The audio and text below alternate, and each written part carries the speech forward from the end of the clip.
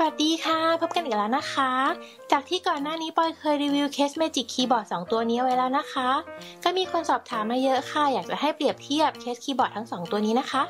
ตัวนี้จะเป็น Goojodoq Gen 1ส่วนตัวนี้จะเป็น Goojodoq Gen 2 ค่ะสำหรับพิกัดของคีย์บอร์ดทั้ง 2 ตัวเดี๋ยวปอยจะใส่เอาไว้ที่รายละเอียดใต้คลิปนะคะในคลิปนี้ว่าจะเปรียบเทียบแค่ลักษณะภายนอกของคีย์บอร์ดทั้ง 2 ตัวนี้นะคะ เพราะว่าในส่วนของการใช้งานเนี่ยจะเหมือนเหมือนกันค่ะ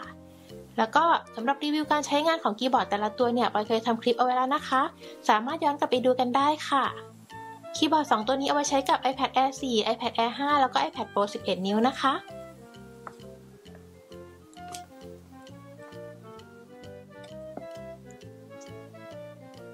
นี่ค่ะ เวลาจะใช้งานก็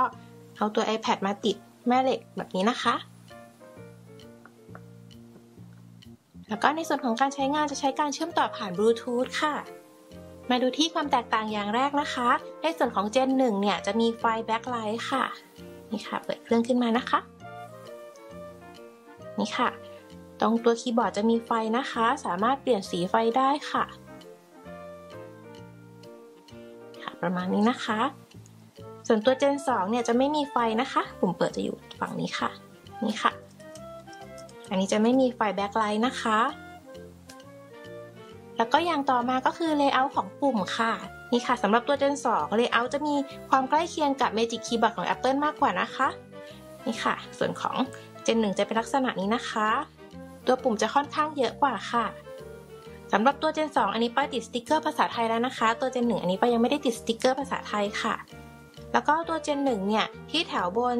เราจะสามารถมีฟังก์ชันในการปรับเพิ่มแสงลดแสง เพิ่มเสียงลดเสียงอะไรพวกนี้ได้นะคะ โดยการกดปุ่มฟังก์ชันแล้วก็ตามด้วยปุ่มเพิ่มเสียงลดเสียงค่ะ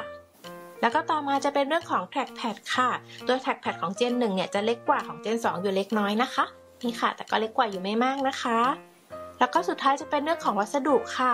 ส่วนตัวปาคิดว่าวัสดุของ Gen 2 เนี่ยค่อนข้างจะดูหรูหรากว่านะคะ นี่ค่ะอย่างฝั่งที่ติดกับ iPad ตรงนี้นะคะ ของตัว Gen 2 จะเป็นเหมือนกำมะหยี่ค่ะ แล้วก็ที่ด้านล่างจะมีพิมพ์กดลึกลงไปนะคะ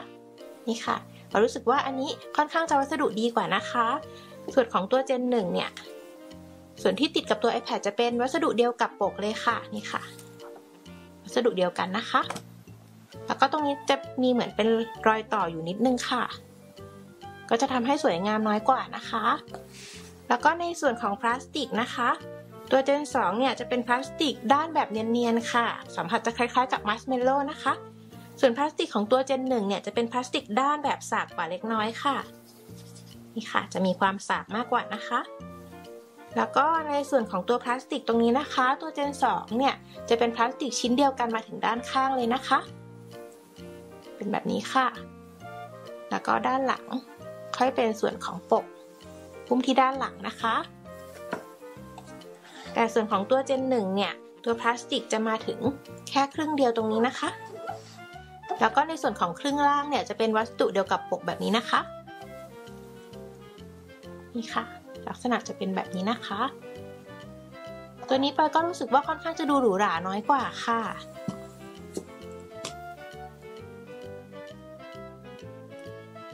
แต่ในส่วนของการใช้งานอื่นๆเนี่ยปารู้สึกว่าเหมือนๆกันนะคะ ข้อแตกต่างก็จะมีประมาณนี้ค่ะ อันนี้จะเป็นด้านหลังนะคะ